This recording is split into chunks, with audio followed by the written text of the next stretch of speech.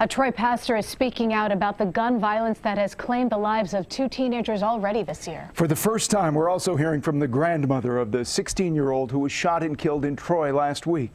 Kumi Tucker has the story you're seeing only on 13. 16 year old Jalen Gourier Lewis used to sit right here in this pew at United Ordained Church North Central. And tonight, his loss is spurring another call to action. I believe that mothers need to reach out to their sons and speak to them about putting the guns down.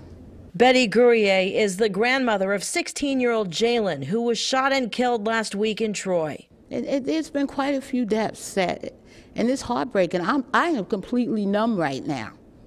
I don't know how to feel.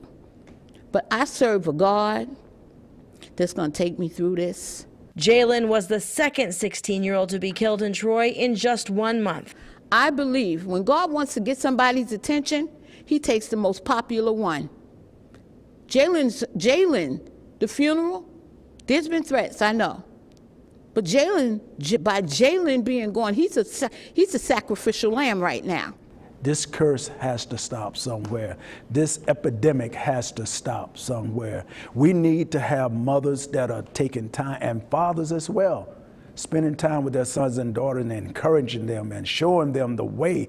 They are even worried about safety at Jalen's funeral. I'm tired from years ago of this. I'm tired. I'm tired. How many? How much more? God has sent. God has sent. God sends warnings before disasters.